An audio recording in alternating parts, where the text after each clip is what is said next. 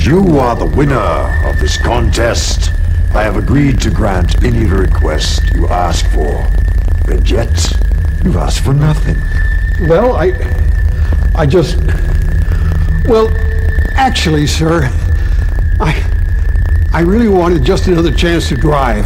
My God, you killed everyone. You suddenly don't drive like a man who has nothing to gain. The way you took out your own son. Oh, that was one of the best skills I've seen in the last ten years. It's hard to believe you're really the father of that psychotic clown in the ice cream truck. Your driving skills are vastly superior. Come now, Mr. Kane. You must want something. Soon, as you can probably tell, I'm going to pass along.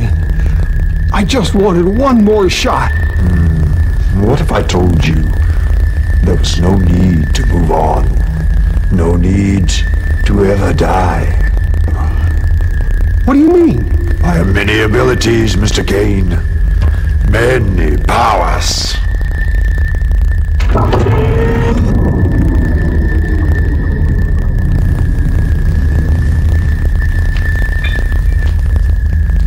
You are a lucky man. Well, just a second. I, I don't want this. Please, Mr. Kane. What have you got to lose? Trust me.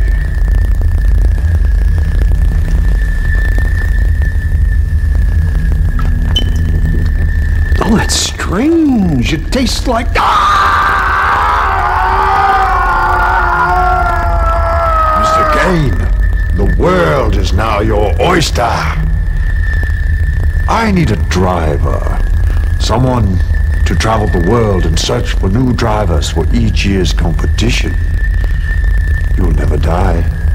And you'll drive forever. What do you say, Mr. Kane?